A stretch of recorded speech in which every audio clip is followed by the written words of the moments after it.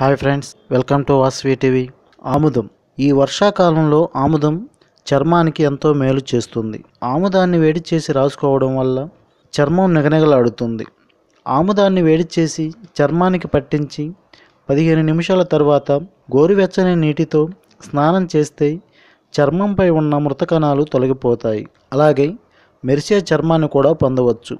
వేడి చేసిన ఆముదాన్ని రాత్రి పడుకునే ముందు పాదాలకు పట్టించి ఉదయాన్నే గోరువెచ్చని నీటితో కడిగేస్తే పగిలిన పాదాల నుంచి ఉపశమనం లభిస్తుంది. చిన్న వయసులోనే చర్మంపై ముడతలు వస్తే ఆ ముడతలు పడిన చర్మానికి వేడి చేసిన ఆముదాన్ని రాసి మెల్లగా మర్దనా చేస్తే ముడతలు పోవడంతో పాటు నిత్య యవనులుగా మారతారు.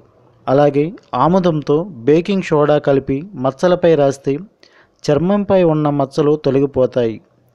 చర్మంపై గీతలు మొటిమలు మచ్చలు ఎలాంటి వాటికైనా ఈ ఆముదం దివ్య ఔషధంగా పనిచేస్తుంది.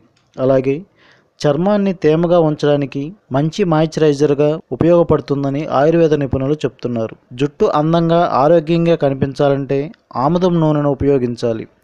ఇది జుట్టు రాలడాన్ని నివారిస్తుంది. అలాగే చుండ్రు దురద సమస్యలను దూరం చేస్తుంది. ఆముదం నూనెలో రెండు చుక్కల కొబ్బరి నూనె ఆలివ్ నూనెను కలిపి తలకు పట్టించాలి. ఇలా చేయడం వల్ల చుండ్రు తగ్గటమే కాక జుట్టు ఆరోగ్యంగా మృదువుగా కనిపిస్తుంది. మా వీడియో కనుక మీకు నచ్చినట్లయితే లైక్ చేయండి షేర్ చేయండి. అందరికంటే ముందుగా మా లేటెస్ట్ అప్డేట్స్ మీకు నోటిఫికేషన్గా రావాలనుకుంటే మా ఛానల్ని సబ్స్క్రైబ్ చేసి పక్కనే ఉన్న బిల్ బటన్ని యాక్టివేట్ చేసుకోండి.